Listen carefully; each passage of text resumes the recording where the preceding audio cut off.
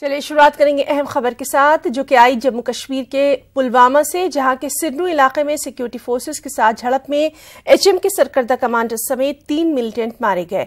تینوں ملیٹنٹوں کی شناخت ہو چکی ہے۔ ایک کی شناخت حزب کمانڈر ظہور احمد ٹھوکر کے طور پر ہوئی۔ ظہور احمد سابق فوجی رہ چکا ہے۔ دوسرے ملیٹنٹ کی شناخت پلوامہ کریم آباد کے ادنان کے طور پر کی گئی، تیسرے ملیٹنٹ کی شناخت پلوامہ راجپورہ کے بلال احمد کے طور پر کی گئی۔ اس جھڑپ میں ایک فوجی جوان شہید ہوا۔ یہ انکاؤنٹر آج صبح سرنو کے کھارپورہ محلے میں اس وقت شروع ہوا جب فورسز نے ملیٹنٹوں کی موجودگی پر علاقے کا محاصرہ شروع کیا۔ ایچ ایم کا سرکردہ کمانڈر ظہور گزشتہ سال فوج کی ٹی اے بٹالین سے فرار ہو کر ملیٹنسی میں شامل ہو گیا تھا۔ فورسز کے مطابق ظہور ملیٹنسی کی کئی وارداتوں میں ملوث تھا اور فورسز نے ظہور کی ہلاکت کو بڑی کامیابی سے تعبیر کیا۔ مارے گئے ملیٹنٹوں کے قبضے سے ہتھیار اور گولہ بارود برامد کیا گیا۔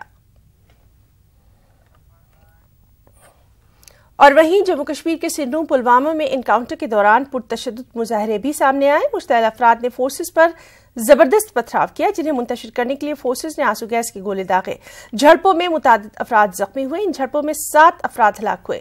محلوقین کی شناخت پلوامہ ارچرسو کے توصیف احمد، میر منگھاما کے شہباز قزو پلوامہ کے مرتضی، پاریگام کے لیاقت ڈار بیلو کے سہیل، کریم آباد کے عابد، اشمندر کے عامر پالا کے طور پر کی گئی۔ عام شہریوں کی ہلاکت پر پلوامہ کے مختلف مقامات پر احتجاجی مظاہرے ہوئے۔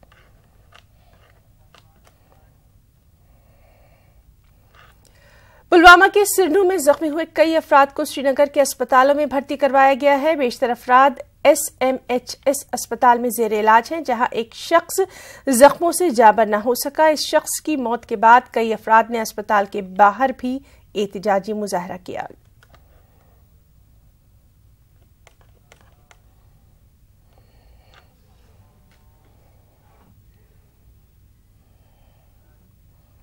اور وہیں مارے گئے افراد کی لاشیں جب ان کے آبائی علاقوں میں پہنچائی گئیں تو صف ماتم بچ گئی۔ محلوکین کے اہل خانہ کا رو رو کر برا حال تھا۔ عام شہری کی ہلاکتوں پر کئی سیاسی لیڈران نے بھی گہرے دکھ کا اظہار کرتے ہوئے اس واقعے کی سخت مذمت کی ہے۔ ان لیڈروں میں این سی کے غلام محی الدین میر، پی ڈی پی کے محمد خلیل بند، کانگریس کے فیاض احمد ڈار اور محمد انور بٹ کے علاوہ پی ڈی پی کے senior leader advocate Mohammad Yusuf Bhat بھی شامل ہیں۔ ان لیڈروں نے حکومت سے پرزور مطالبہ کیا کہ ایسے واقعات کی فوری روک تھام ہونی چاہیے۔ کچھ اور اہم خبریں بھی۔ مدھیہ پردیش اور راجستھان میں وزیر کے نام کا اعلان کرنے کے بعد کانگریس صدر راہل گاندھی کی رہائش گاہ پر اب چھتیس گڑھ کے سی ایم کے نام کو لے کر ماتھا پچی آج دن بھر بھی جاری رہی، لیکن آج اس دن میں کوئی فیصلہ نہیں ہو سکا۔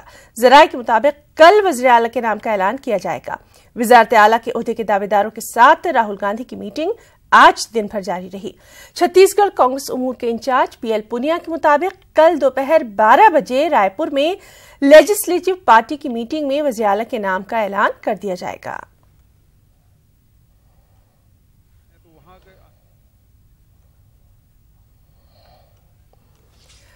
انڈیا سے الگ ہوئی آر ایل ایس پی کی یو پی اے سے نزدیکیاں بڑھ رہی ہیں۔ آج دہلی میں اپین کشواہا کے مکان پر احمد پٹیل پہنچے اور ان سے خاص ملاقات کی۔ ایک گھنٹے تک یہ ملاقات چلی۔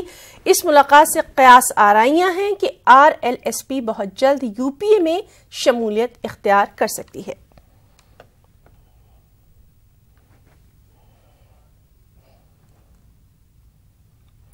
اوگسٹا ویسٹ لینڈ ڈیل میں مبینہ طور پر بچولیے کا کردار ادا کرنے والے برطانوی شہری کرسچن مشل کو دہلی کی سی بی آئی کی خصوصی عدالت نے چار روز کے لیے سی بی آئی کی تحویل میں دے دیا۔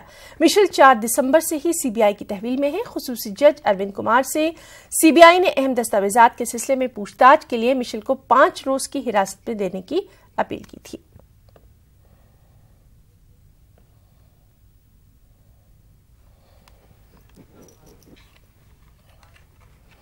ایودھیا میں یو پی کے وزیر اعلی یوگی آدتیہ ناتھ نے اشاروں اشاروں میں کانگریس صدر راہل گاندھی کو تنقید کا نشانہ بنا ڈالا۔ یوگی نے کہا، ہم لوگوں کی وجہ سے کچھ لوگوں کو آپ لوگ جنیو پہنے اور مندروں کے درشن کرتے دیکھ سکتے ہیں۔ کچھ سال پہلے تک تصویر کچھ اور تھی۔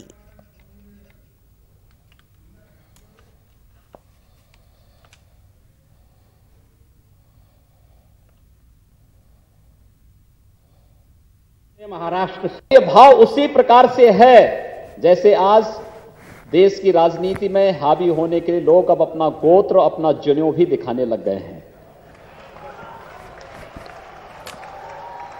جو لوگ کہتے تھے کہ ہم ایکسیڈنٹلی ہندو ہیں، آج ان کو احساس ہو رہا ہے کہ نہیں، ہم بھی سناتن ہندو دھرماولمبی ہیں۔ ایکسیڈنٹلی نہیں، ہم بھی صحیح معنی میں ہندو ہیں۔ آج ان کو اپنا جنے اور گوتر یاد آنے لگ گیا ہے اور مجھے لگتا ہے یہ بھارت کی سناتن آستا کی وجہ ہے۔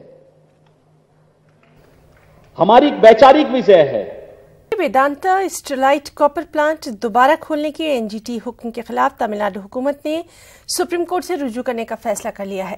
وزیر ماحولیات، کے سی کروپانند کے مطابق وزیر ای کے پلانی سوامی پلانٹ بند کرانے کے اپنے موقف پر قائم ہے مئی میں پلانٹ بند کرنے کو لے کر کیے گئے احتجاج نے پرتشدد روپ اختیار کر لیا تھا، جس میں تیرہ لوگوں کی جانیں بھی گئی تھیں۔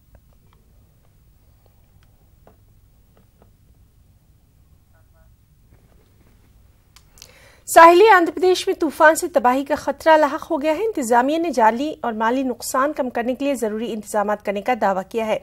کل سے ساحلی آندھر پردیش کے کچھ علاقوں میں موسلادھار بارش ہونے کی پیش گوئی کی گئی ہے۔ ایک رپورٹ۔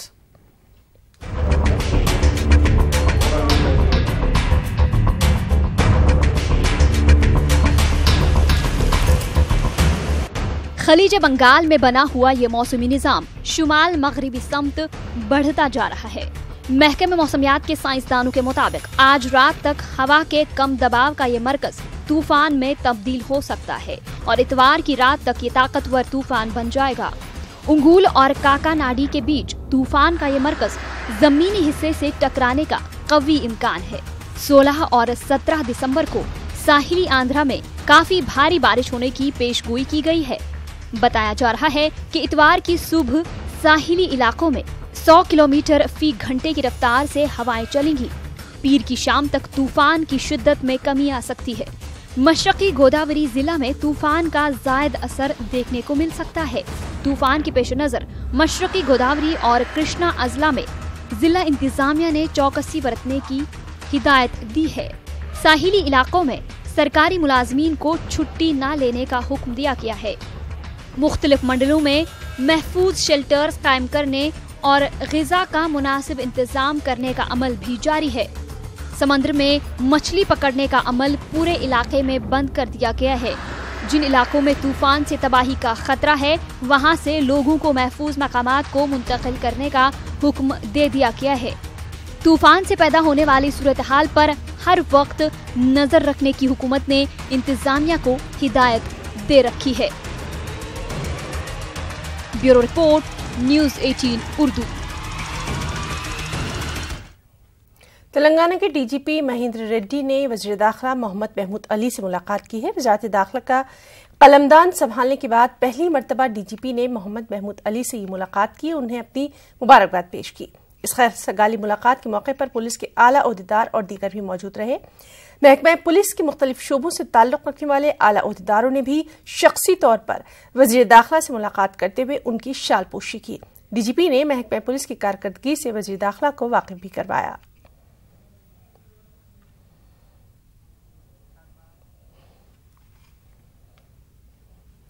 دہلی میں جمعیت العلماء ہند نے تحریک آزادی میں جمعیت کے کردار پر پروگرام کا انعقاد کیا۔ پروگرام میں پاکستان کے تین ارکان پارلیمان بھی شریک ہوئے اور جمعیت العلماء ہند کے جنرل سیکرٹری مولانا محمود بنتی کے ساتھ اسٹیج شیئر کیا۔ اس موقع پر جمعیت نے واضح کر دیا کہ جمعیت العلماء ہند نے کانگریس سے قبل تحریک آزادی کے لیے جدوجہد شروع کر دی تھی۔ یہاں یہ بات بھی واضح کی گئی کہ پاکستان کے ساتھ جو ہندوستان کے اختلاف ہے، اس معاملے میں جمعیت پورے طور پر ہندوستان کے ہی ساتھ ہے۔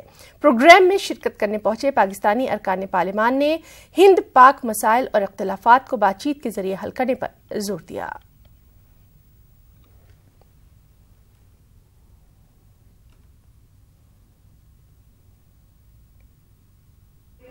ابھی ہمارے سو سال پورے ہوئے ہیں اور وہی آزادی کے متوالے جنہوں نے جیلوں کو آباد کیا، پھانسی کے پندوں کو چوما خوشی سے، ان کو یاد کر رہے ہیں، ان کی خدمات کو، ان کے ان کا جو رول تھا انڈیپینڈنس میں، اس کو جمع کر رہے ہیں۔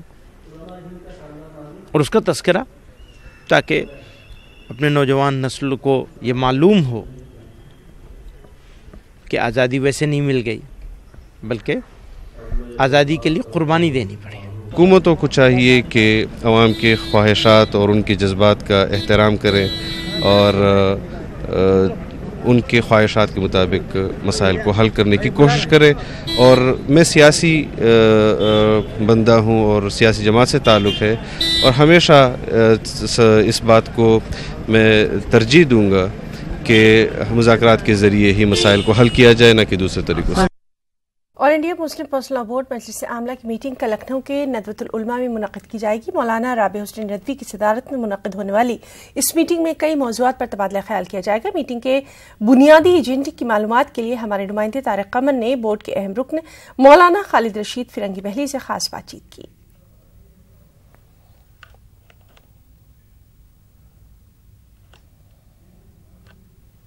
ذمہ دار رکن، محترم خالد رشید صاحب موجود ہیں۔ آئیے ان سے بات کر لیتے ہیں۔ خالد صاحب، کیا کیا ایجنڈے رہیں گے اس میٹنگ کے؟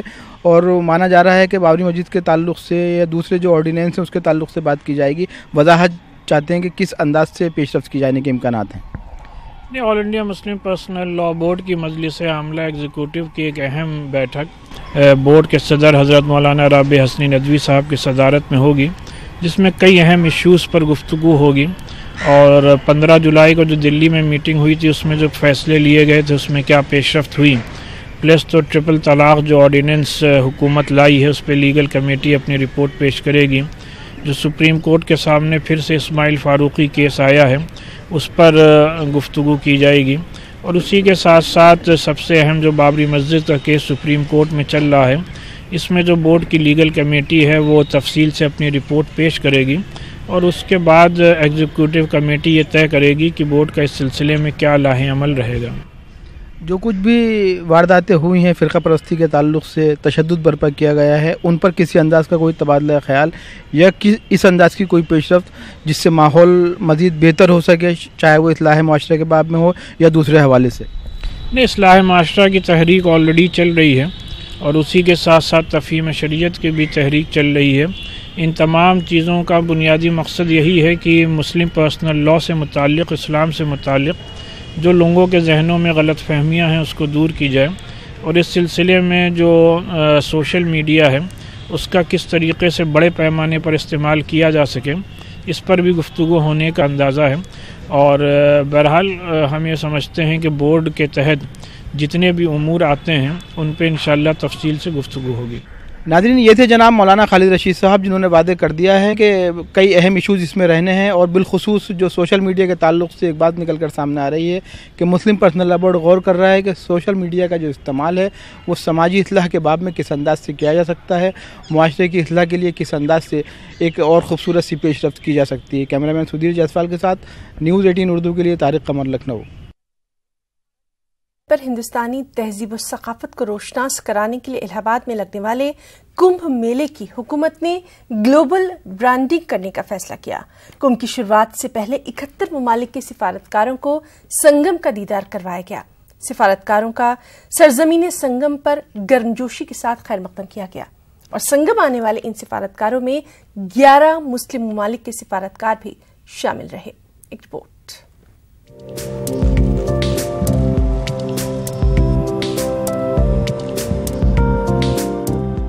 گنگا جمنی تہذیب کی اصطلاح سے پوری دنیا میں مشہور سنگم کے کنارے دنیا کے اکہتر ملکوں کے سفارتکار جمع ہوئے۔ ان سفارتکاروں نے سنگم کے کنارے اپنے اپنے ملکوں کا قومی پرچم پھیرایا۔ سفارتکاروں کو جنوری ماہ میں لگنے والے کمبھ میلے کی قدیم روایات سے واقف کرایا گیا۔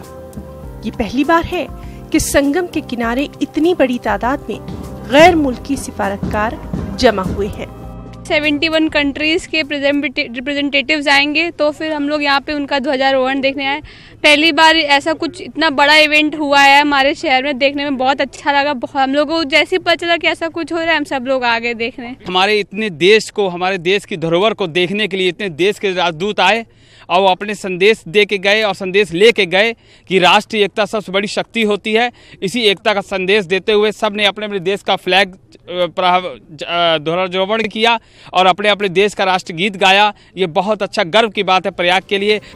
سنگم کے کنارے جمع ہونے والے اکہتر ممالک کے سفارتکاروں میں گیارہ مسلم ممالک کے سفارتکار بھی شامل ہوئے۔ ان میں مصر عراق مراکش فلسطین Sudan Libya Uzbekistan Malaysia Afghanistan Azerbaijan اور بنگلہ دیش کے سفارتکار شامل ہیں۔ اس آیوجن کے پرپیکش میں ہم سبھی لوگوں سے یہی کہنا چاہیں گے کہ وسودھیو کٹمبکم کی جو دھارنا ہے وہ آج یہاں پہ اس چھیتر میں سنگم کے پوتر چھیتر میں یہ چرتارتھ ہو گئی جب اکہتر دیشوں کے راجنیک یہاں پہ پدھارے۔ پندرہ جنوری سے الہ آباد میں کمبھ میلے کی شروعات ہونے جا رہی ہے۔ دو ماہ تک چلنے والے کمبھ میلے میں ملک اور بیرون ملک سے پانچ کروڑ لوگوں کے آنے کی امید کی جا رہی ہے۔ نیوز ایٹین اردو کے لیے الہ آباد سے مشتاق عامر کی رپورٹ۔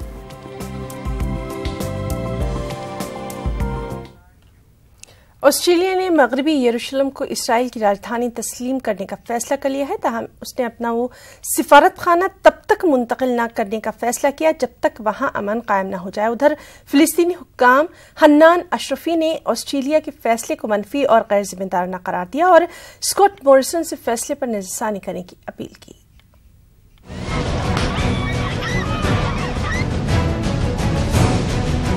مغربی یروشلم کو اسرائیل کی راجدھانی تسلیم کرنے والے ممالک کی فہرست میں اب آسٹریلیا بھی شامل ہو گیا ہے، تاہم آسٹریلیا اپنا سفارت خانہ تلبیب سے تب تک منتقل نہیں کرے گا جب تک امن سمجھوتا نہیں ہو جاتا Australia now recognises West Jerusalem being the of of the Knesset and many of the as governed is the capital of Israel. West Jerusalem is the capital of Israel. and we look forward to moving our embassy to West Jerusalem when practical, in support of and after final status determination. We've decided to start the work, though, now to identify a suitable site for an Australian embassy in West Jerusalem.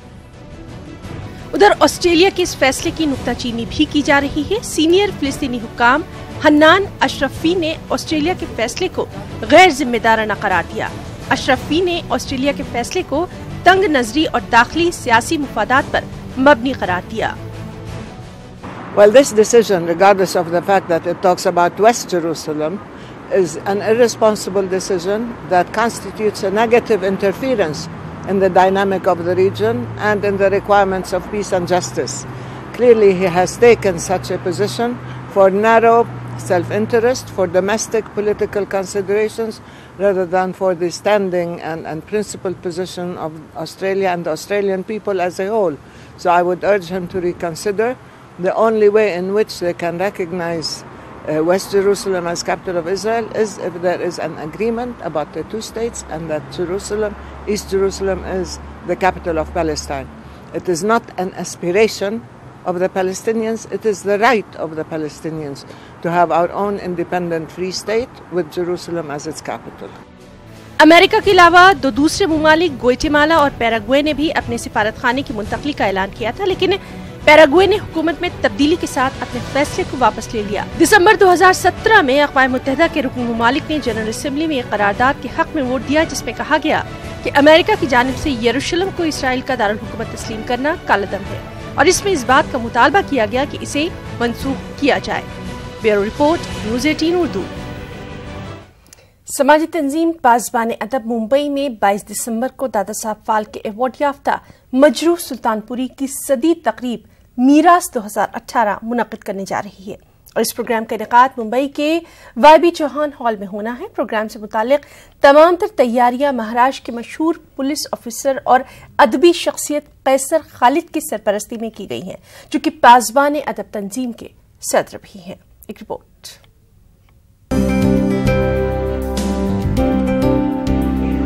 Mumbai کے Y be Chauhan hall میں بائیس دسمبر کو بالی would کے عظیم نغمہ نگار اور Dada Saheb Phalke award یافتہ مجروح سلطان پوری کی صدی تقریب میراث دو ہزار اٹھارہ کا انعقاد کیا جائے گا۔ میراث تقریب کا یہ چھٹا سال ہے۔ تقریب کا انعقاد کرنے والی تنظیم پاسبان ادب کی کوشش ہوتی ہے۔ کہ آج کے نوجوان نسل کو ہندوستانی ادب اور زبان سے جوڑا جا سکے۔ پاسبان ادب کی جانب سے منعقد ہونے والی تقریب میں مرحوم مجروح سلطان پوری کی کئی ایسی غزلیں پیش کی جائیں گی جو اب تک منظر عام پر نہیں آ سکی ہیں۔ دیکھیے، یہ کارکرم اس کو ہم میراث کہتے ہیں، یہ اس کا چھٹا ایڈیشن ہے۔ مطلب چھٹے سال میں یہ ہو رہا ہے۔ پاسبان ادب جو سنستھا ہے، یہ بھارتی بھاشا اور ساہت سے آج کے نوجوان نسل جڑے اور یہ ہماری پہچان کا ایک بھاگ ہو جائے، ایک حصہ ہو جائے، اس کے لیے کوشش کر رہی ہے۔ اور ہمیشہ یہ کوشش کرتی ہے کہ جو اچ کوٹی کے ساہتکار ہیں، ان کو جن مانس کے بیچ ہم لائیں تاکہ عام آدمی ان سے جڑ سکے۔ میراث جو پروگرام ہے، اس میں ہم عموماً نارملی نو پوئٹس پہ چھوٹی ڈاکومنٹری بناتے ہیں، ان کے لائف اور ٹائمز پہ۔ وہ کون تھے، کیا تھے، کیا کام کرتے تھے، کیا لکھا انہوں نے، اور ان کی ایک غزل گائی جاتی ہے۔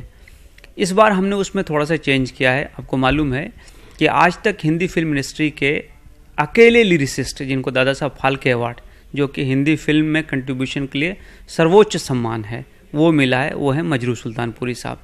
مجرو صاحب کا یہ سواں جنم شتابی ورش ہے۔ ان کے پیدائش کو اس سال سو سال ہو گئے۔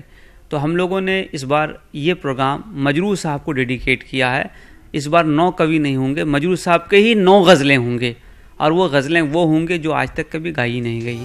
پاسبان ادب گزشتہ دس برسوں سے مختلف زبان کے ادب اور نظموں کو لے کر اس طرح کے پروگرام کا انعقاد کرتی رہی ہے جس میں ہندی مراٹھی اور اردو کی شاعری شامل کی جاتی ہے۔ ممبئی میں منعقد ہونے والے اس پروگرام سے مجروح سلطان پوری کے بیٹے اندلیب سلطان پوری کافی خوش ہیں۔ میں شکر گزار ہوں خالد بھائی کا کہ انہوں نے اپنے ادارے پاسبان ادب کے تھرو یہ پروگرام ایک رکھا ہے ابا کو ایک شدرانجلی دیتے ہوئے، کیونکہ یہ ان کا ہنڈریڈ ایئر ہے۔ ابا جب آخر آخر دنوں مثالوں میں بہت دکھی تھے کہ اردو جو لینگویج ہے وہ مر رہی ہے۔ بہت افسوس کرتے تھے کہ یہ لینگویج جا رہی ہے۔ مجرو سلطان پوری کی ادبی تخلیق پر منعقد ہونے والے اس پروگرام میں ہندی سنیما کی کئی مشہور ہستیاں شامل ہوں گی۔ وہیں تقریب میں شمولیت کے لیے کسی طرح کا کوئی پاس نہیں رکھا گیا ہے۔ نیوز ایٹین اردو کے لیے ممبئی سے سرویش تیواری کی رپورٹ۔